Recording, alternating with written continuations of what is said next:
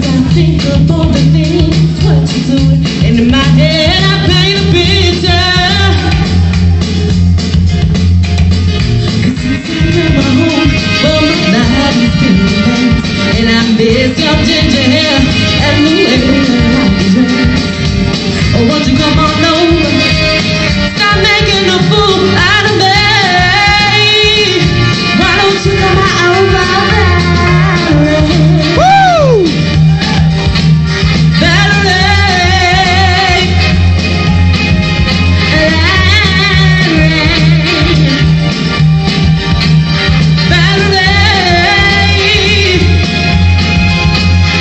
Did you have to go to jail?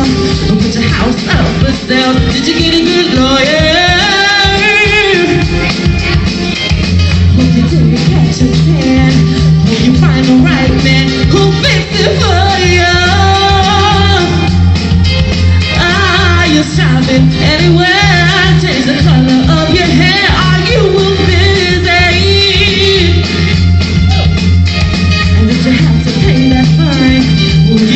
all the time.